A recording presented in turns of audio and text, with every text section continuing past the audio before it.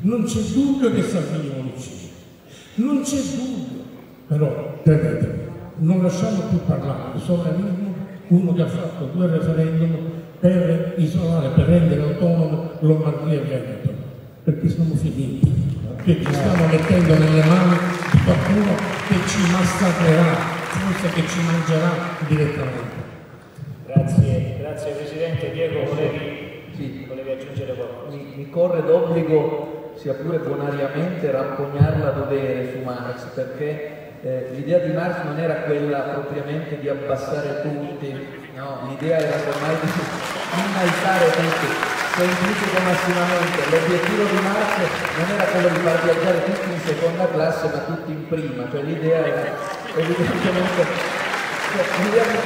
No, No, però dato che Marx è uno dei miei autori... Lei sa benissimo, però scusi che le interrompo, che una cosa è quello che si vuole dire, una cosa è quello che si può ottenere. Non c'è dubbio che battuto il capitalismo l'appiattimento era verso non poteva essere verso l'alto perché non ci sono le risorse sufficienti per farlo verso l'alto. Cioè tutti i ricchi e tutti chi comandano non possono esistere, sono tutti poveri, nessuno che conta nulla, questo è quello che poteva succedere. Per cui io magari ho semplificato, però lei non, non mi piace lo stesso, devo comprare un po'. devo correggere la, allora, il progetto di Marx parte dal presupposto che la società capitalistica, e sfido chiunque a negare questo punto cardinale, è una società totalmente rovesciata una società in cui l'ultimo eh, scarsone della Cremonese percepisce un salario più alto del lavoratore o dell'artigiano è una società rovesciata, una società in cui una banca può portare via la casa a un cittadino, una società del tutto eh, fallita. Questo è il presupposto, per cui paradossalmente... Scusate, questo è il populismo. La, la, la,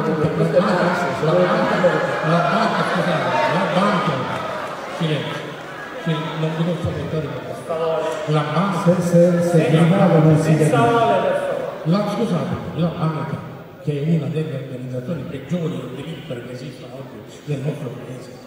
Non funziona, hanno delle regole folli che sono lasciate fare, ma non è che oggi la banca toglie la casa al contadino, la toglie al contadino per ma ricco se non gli pagano, se non gli pagano il mondo. Per cui il concetto è un po' diverso il, devo dire sinceramente che con la mia idea di marxismo, che è quella al ribasso, probabilmente sul problema del mutuo della casa ce l'avessero più uscito, perché tanto non c'avevano la casa. Però non c'è dubbio che è, è, è una, dire, una, struttura che la banca si possa permettere di togliere la casa al cittadino, perché non ci sono garanzie. Ma le garanzie, chiedo scusa, te le dà soltanto una democrazia capitalista per ricordare il marxismo mi corre l'obbligo di modo di fare una precisazione. Prendiamo il caso degli Stati Uniti 2007, il tempio del turbocapitalismo apolide sugli Stati Uniti. Nel 2007 ci fu il caso dei subprime e dei mutui assassini, ossia la, la, leva del debito è quella con cui si schiavizzano gli esseri umani. Io ti presto dei soldi sapendo già da subito che tu non potrai mai restituirmeli e con questo stratagemma ti porto via la casa,